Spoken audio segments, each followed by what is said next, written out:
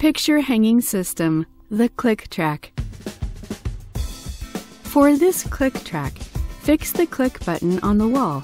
Usually, a 1 meter track needs two or three click buttons to fix the track.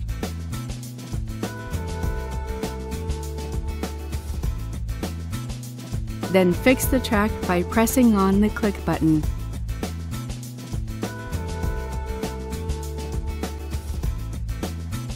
By connecting two clicks, you need to fix a brass connector to join the two tracks together.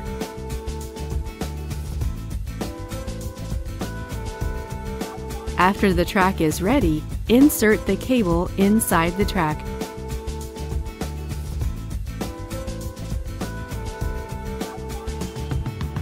Then it's ready for hanging the picture.